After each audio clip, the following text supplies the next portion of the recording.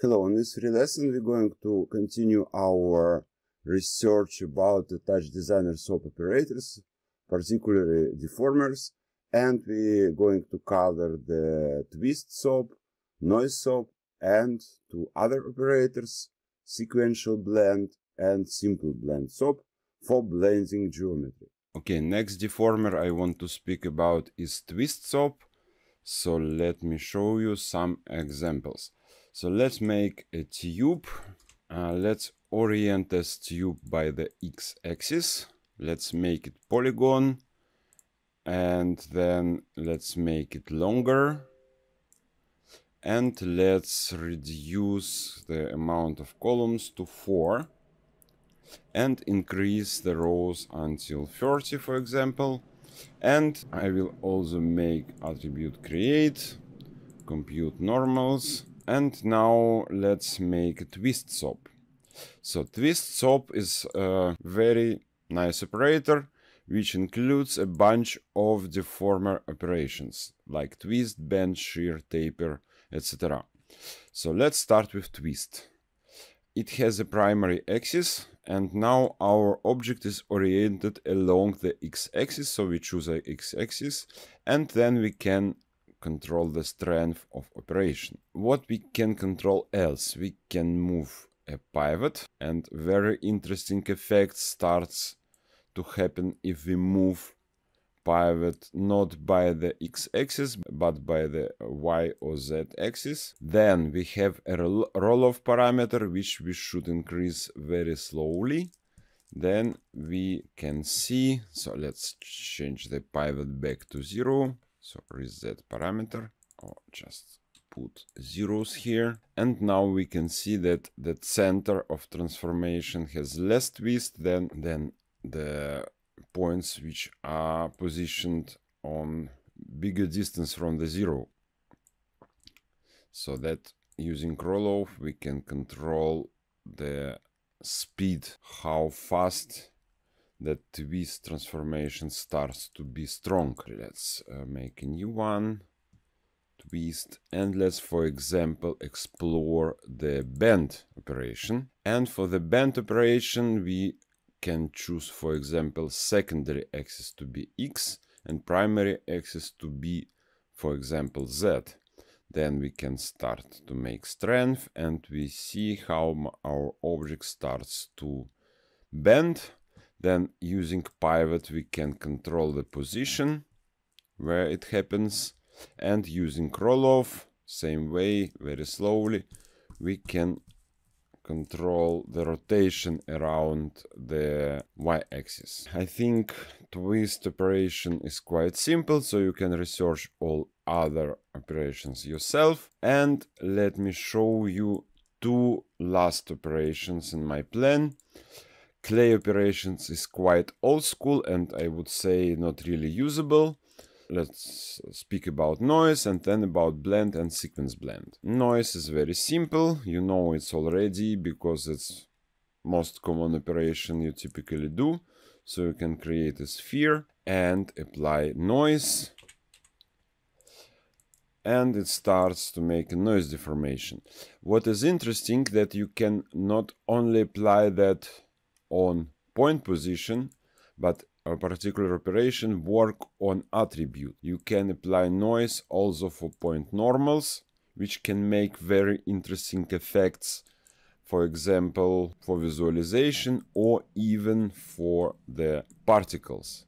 Because if you emit particles from the simple sphere, they start to fly regularly, oriented to the normals. But if we animate normals direction using noise, they starts to fly using that noise pattern. Then we can apply it also to diffuse color, to alpha and to UV coordinates. So enable your imagination and think how you can use that. Okay, that's all about noise. And now let's speak a bit about the blend.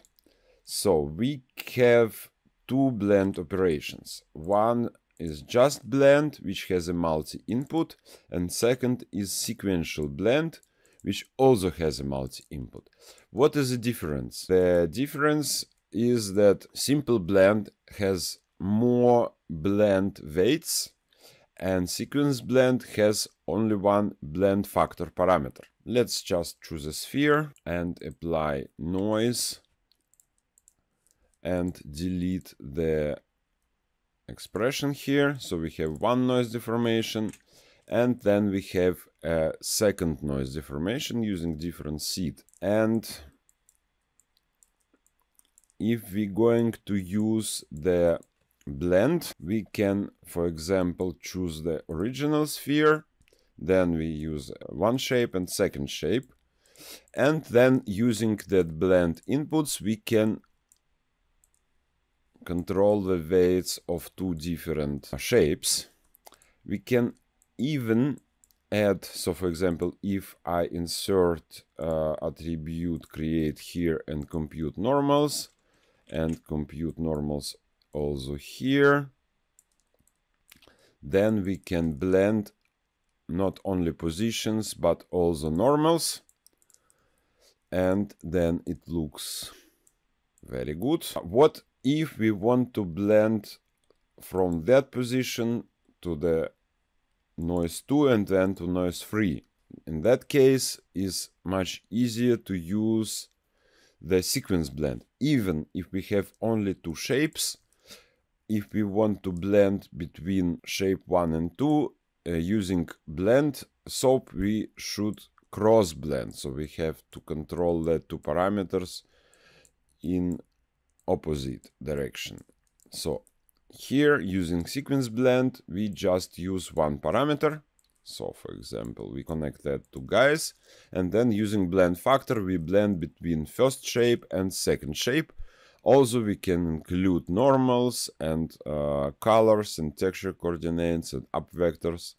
And then the value of blend factor corresponds to the number of input. So using that, we can blend to the first shape then if we connect the second shape, we can go above one and blend to the second input. So that's so simple like that.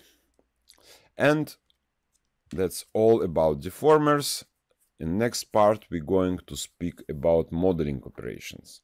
Thank you for your attention. Uh, we continue to post lessons about the Touch Designer SOP operators for the next week. So follow us on YouTube and please check our website hou2touch.com where you can find a, only one academic course covering the workflow between TouchDesigner and Houdini for the wide range of operations, for the media art, for the motion graphics, for interactive design, for the audiovisual performances, and also, if you don't have so much time to take a 11 month course, please uh, check our short courses where you can upgrade your level from beginner until advanced.